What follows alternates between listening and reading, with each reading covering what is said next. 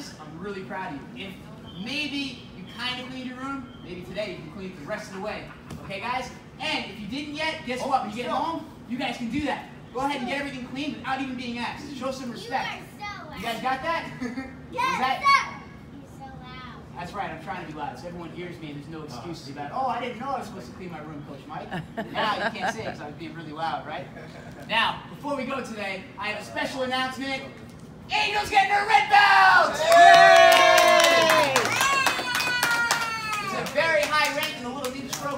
Long time to get. Angel's been training really hard for a long time.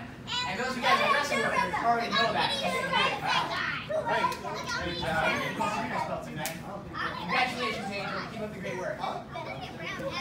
Yay! Right. You excited? That's right. Ta-da! All right. Congratulations.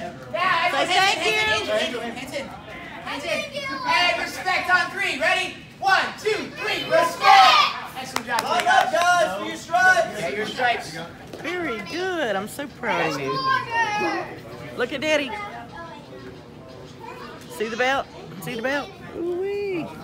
Fancy smancy. Guys,